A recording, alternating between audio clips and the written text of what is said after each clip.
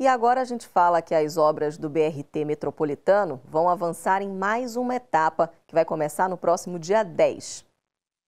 Será feito um desvio no trânsito no quilômetro 4 da BR-316. Quer saber como vai funcionar o fluxo nesse trecho? Acompanhe na reportagem. Pela BR-316, trafegam 80 mil veículos por dia. E agora o desafio é implantar o sistema de drenagem para a segurança da pista. Para isso, um desvio vai ser feito no quilômetro 4,5, 600 metros, passando o viaduto no sentido Belém-Ananindeu, a Marituba. A intervenção ela está programada para iniciar dia 10, né, já fazendo o desvio do tráfego. E imediatamente, no dia 11, iniciamos a, o fechamento das duas faixas que vão ser bloqueadas para o assentamento da rede de drenagem. O desvio para veículos pequenos vai ser pelo corredor construído para o BRT metropolitano e deve começar a funcionar no próximo dia 10.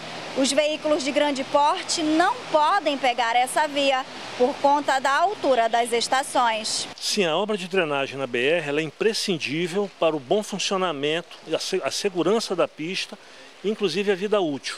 Né? Ela que vai assegurar que as águas que hoje ficam é, na pista se destinem para algum lugar. A ação integrada do governo do estado envolve também o Departamento de Trânsito e a Polícia Militar. Vamos ter fixo aqui na área 32 agentes tanto na parte de fiscalização, agente de trânsito, como a parte de agente educacional, fazendo toda a orientação para ser o mais menos danoso esse, esse, esse transtorno para a sociedade. Com quatro equipes, 24 horas aqui nesse trecho do desvio, mas também entendendo que vai haver um aumento de fluxo na via auxiliar que é a Independência. É uma outra via que permite a saída da cidade, né? vários usuários vão utilizar a Independência para evitar esse desvio aqui. Isso também está no nosso, é, no nosso planejamento. A previsão é de 90 dias para a conclusão das obras de drenagem e pavimentação.